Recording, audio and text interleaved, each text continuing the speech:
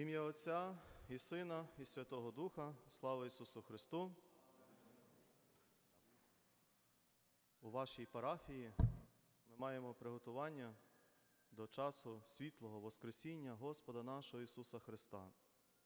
Приємно, що сьогодні в неділю, залишивши всі інші справи, ви прийшли додому Бога. Зустрітися з тим, хто знає людське серце, подивитися на того, хто зможе поглянути на моє життя і зробити те, що хоче Бог від мене. В цьому храмі ми кожної неділі хочемо сказати Богові, нехай буде Твоя воля. І саме ця воля спонукує кожного з нас бути щасливим, незважаючи на те, що різні життєві ситуації можуть торкнутися нашого життя. Бути щасливим це означає вповні відкритися на Бога. В час цих реколекцій ми роздумуємо також з вами про дуже відому ікону, ікону милосердя Божого з двома променями. Її під особливою молитвою відкрила в собі убога монахиня ще на початку ХХ століття. В маленькій келії вона відкрила цей образ милосердного Христа. Ці два промені води і крові Господні, які випливли на Христі, торкнулися глибоко її серця, і вона всьому світові хотіла донести, що Бог є милосердний. Хотіла сказати цілому світові, що Бог має милосердя до кожного з нас. І ми з вами хочемо також бути милосердними. Хочемо мати обличчя, яке мав Отець Небесний у своєму Сині Ісусі Христі, обличчя милосердя. І також Бог каже, що кожен з нас є обличчям милосердя. Сьогодні ви дивитесь зараз всі на мене, а ну погляньте на хвилю один на одного, хто біля кого сидить. Зразу якась посмішка. Як чудово, коли люди можуть бути милосердними у радості. Здається, простий, звичайний жест, але він спонукає нас порадіти, порадіти тим, що біля мене є милосердя. Це моя дружина, моя дитина, мій дідусь, бабуся, мій чоловік, моя жінка, мій сусід, брати і сестри з моєї парафії, отець Микола, отець Тарасу сповідальниця, пан Михайло Дяк. Напевно, це те, що спонукує нас мати обличчя милосердя.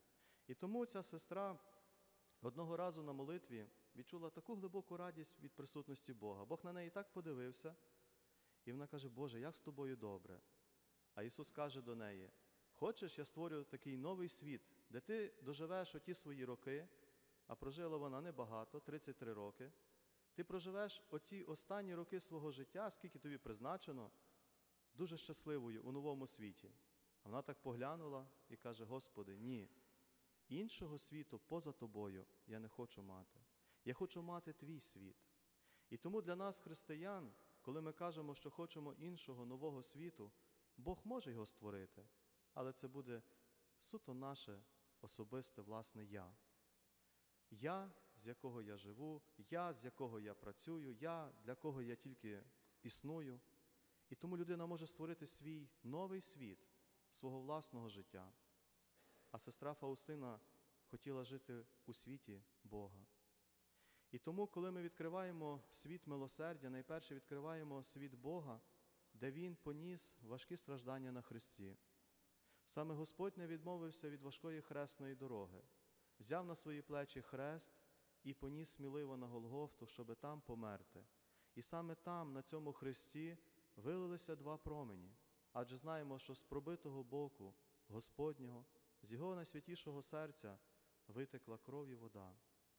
Ці дві речі, які торкаються глибоко нашого серця. І кров нас освячує, кров, немов би ми вливаємо в себе інше Боже життя, і також вода. Вода це Божа правда.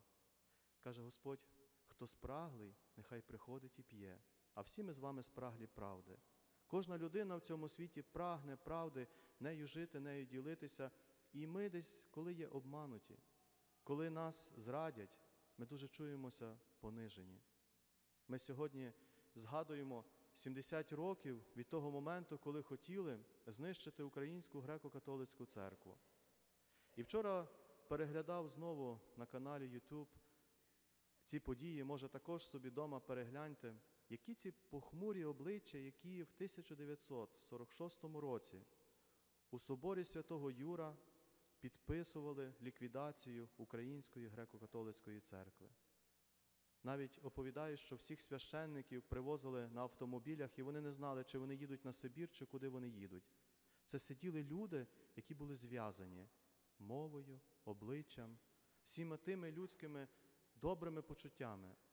І що цікавого, світлі обличчя нашої церкви Миколай Чернецький, Василій Величковський, Йосиф Сліпий, Григорій Хомишин і інші наші єпископи з глибоким почуттям відваги не підписали зраду своєї церкви. Вони вирішили піти і взяти хрест і понести для того, щоб сьогодні світити обличчям цілому світові. Може, вчора хто дивився перегляд подій, які відбуваються сьогодні в Римі, приїхав синод наших єпископів. І що мене так особисто вразив, наші єпископи усміхнені. Вони приїхали з болем до святішого Отця виразити йому ту тривогу, яка відбулася на Кубі, тут, на цьому континенті. Але так подивитися на них, вони просвітлені Воскресінням. Вони живуть тим, що наша церква шукає Божої правди. І так, знаєте, коли поглянув на папу, папа трошки був сумний. Напевно, він зустрівся з тим, що наші єпископи донесли біль нашого народу, що і сьогодні Росія це найбільший ворог всього людства. Як би ми про це не говорили сьогодні, ми не хочемо ображати росіян як людей, але ми говоримо про цю систему, яка постійно нищить людину. Ця комуністична система, де вона не бачить Бога, але бачить оце людське матеріальне, яке хоче знищити. І тому Матір Божа ще в Фатімі дуже сильно просила молитися за навернення Росії.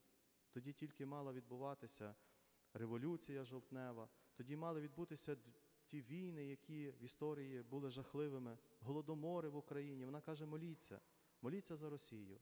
І також сестра Фаустина в 33-му році відкрила оцю молитву і каже: треба молитися за Росію і Іспанію. Вона молилася перед тим, як в Іспанії відбулася громадянська війна, де тисячі людей одні одних вбили тільки заради того, що комунізм ступив на їхню землю. І тому для нас, людей, може, ці події видаються в деякій мірі жахливими, коли ми про це згадуємо, говоримо, але з другої сторони це є надія. Надія, що Божа правда ніколи не загине, що хрест, який ми беремо з вами, можна понести три дні, а потім відчути оцю радість Воскресіння відчути оцю сміливість бути з Богом і нести у цей світ ці промені Божого милосердя, не боятися. Це, можна сказати, це така заповідь, яка десь криється в цих десяти заповідей. Не бійся, я є Бог твій. Не бійся пошанувати день, не бійся визнати ім'я Бога, не бійся любити батьків, не бійся пошанувати життя. Не бійся, не кради, ти проживеш добре. Не бійся, не осуджуй, не дивися на гріх ближнього. Оце Господь завжди постійно хоче вкласти в людське серце, коли ми хочемо переступити Його заповідь. Він хоче сказати нам: не бійся, я з тобою, моє милосердя тебе не залишить. І згадуючи, може так для себе, я ніколи не думав, що я зустрінуся зі смертю віч навіч. Це відбулося на Сході в 2014 році, коли ми з отцем Ярославом поїхали для того, щоб послужити нашим хлопцям в Луганській області. Це був великий табір, де ми приїхали. Ми служили для наших військових у шпиталі, де привозили багато поранених і вбитих. І був наш намет, каплиця. Але біля цієї каплиці не було Христа.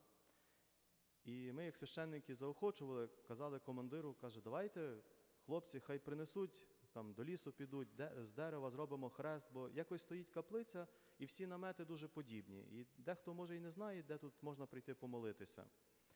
Ну, і цей командир казав: отці, все вже є домовлено, зі Львова мають привезти такий гарний зі столярні хрест.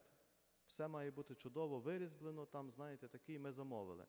Ну і щось нема, знаєте, тиждень, другий того Христа. Ми кажемо, ні-ні, давайте щось. І хлопці пішли до лісу, принесли звичайний березовий хрест. І його встановили і освятили в той день, коли ми святкуємо День Незалежності України, 24 серпня. Була гарна подія, дуже гарне сонце, така особиста глибока молитва торкнулася серця кожного військового. І цей хрест стояв, просто стояв. Але з 31 серпня, не минає майже тижня, по 1 вересня, вночі, десь під ранок, година четверта, від сильного вибуху, знаєте, ми ми злітаємо, ну, піднімаємося з ліжок. Я кажу до отця Ярослава, це наші стріляють. Він каже, ой ні. І ми виходимо і бачимо дуже сильне полум'я десь за кілька метрів, там, може 100, може 200, важко сказати, вони не дострілили. На це місце приїхало дуже багато військових. Якщо б вони попали, там би, знаєте, Зеленопілля чи ті славнозвісні котли Дебальцево і Ловайськ, напевно, би також повторилися. Вони не дострілили.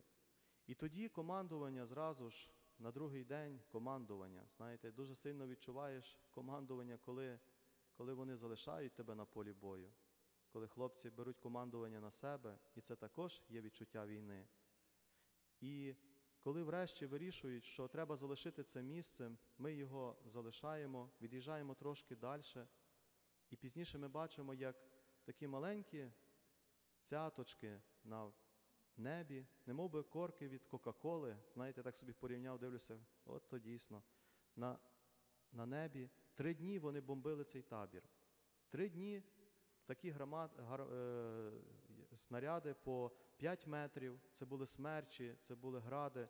Тобто все те, що вривалося в землю, просто ну, вони там поливали ту землю як дощем, тою зброєю, сепаратисти і також Росія, бо були вистріли з російської території.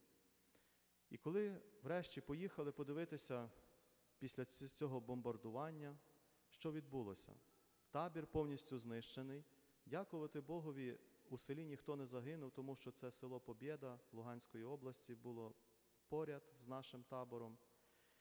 З нашого 3-го батальйону Львівської оборони ніхто не загинув. Тільки був батальйон там далі, то просто через необережність хлопці не покинули вчасно ту територію. Деколи є на війні, коли ти можеш занедбати навіть своє власне життя. Вони могли це зробити, залишити цю територію. І що цікавого, техніка, все було спалене як пекло. Якщо б ми хотіли колись подивитися на пекло, в той момент можна було відкрити, що таке є пекло. Там жодного живого життя не існувало, але хрест березовий залишився неушкодженим. Дерев'яний хрест. Поряд стояли автомобілі з металу, але дерев'яний хрест навіть від вибухової хвилі міг просто завалитися на землю. І знаєте, це для нас найперше стало таким свідченням, що Божа сила є, Божа правда існує, що варто боротися за те. І коли почали стріляти, ще перед тим, знаєте, нам ходять військові і кажуть, напевно, нас будуть бомбити, тому що постійно літали оці е, літаки, безпілотники, які фіксували цю нашу територію постійно. знаєте, Вони там бж-бж. Тобто вони вже мали, як на ладоні, цей наш табір. І в нас е, з отцем Ярославом було три можливості залишити хлопців. Бо знаєте, е, вони підходять до нас, військові кажуть, оці виїжджайте, бо буде дуже гаряче. А ми так знаєте, ну та я знаю. І внутрішньо в серці тобі такий клич тікай, тікай, бо умреш. Але з другої сторони, коли пройшли ці події, я так дякую Богові, що я залишився, що міг також втекти, як деяке командування залишило хлопців. І як то відчути, коли ти не маєш пастиря. Але, будучи з ними, ми просто їх підтримували, молилися. Три дні я бігав з іконою Матері Божої неустанної помочі. Це був мій бронежилет. Знаєте, часом дивилися на мене, там лікарі, постійно була ця тривога. Але я так відчував, що Матір Божа це мій сьогодні бронежилет. І ця ікона є в нас тут, як е, від вас зліва, від мене справа.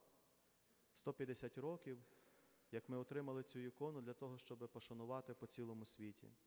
І наскільки це Боже милосердя торкається тоді, коли ти відчуваєш смерть, яка стукає до тебе. Ти в один момент відчуваєш, що можеш далі не жити. Але поряд з тим ти бачиш таку руку Бога, яка тебе провадить. Тому, дорогі брати і сестри, наш український народ має тисячі різних Божих чудес.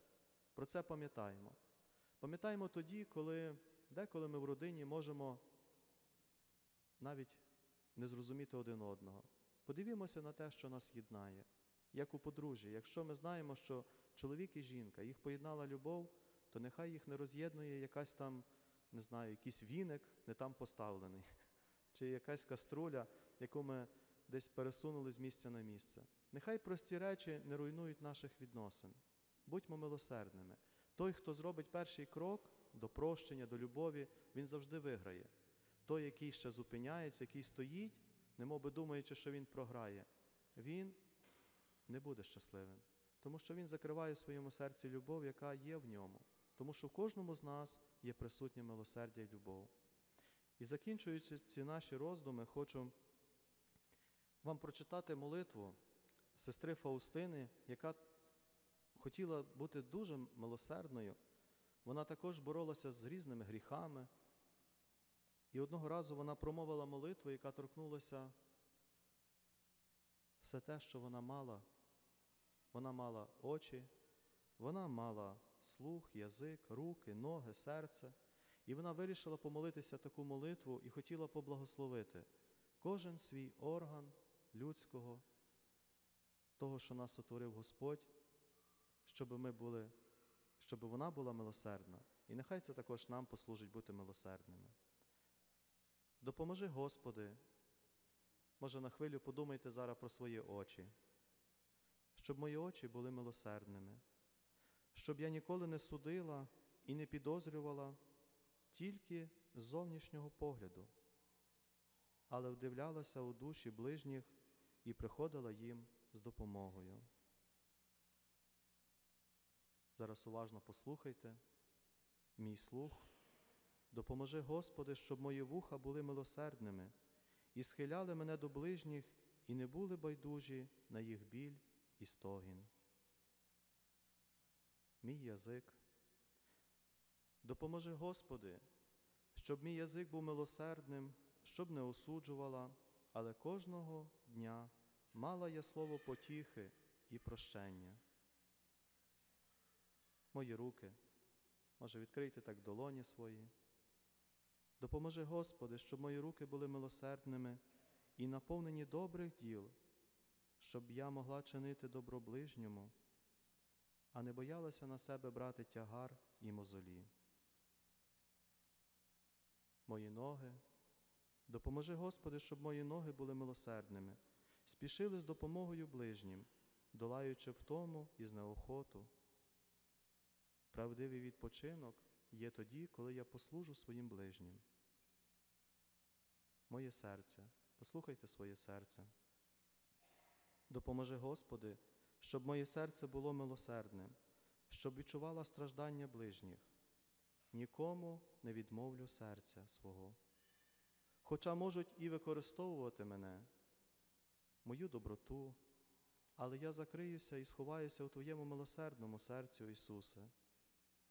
Про своє страждання не буду розголошувати.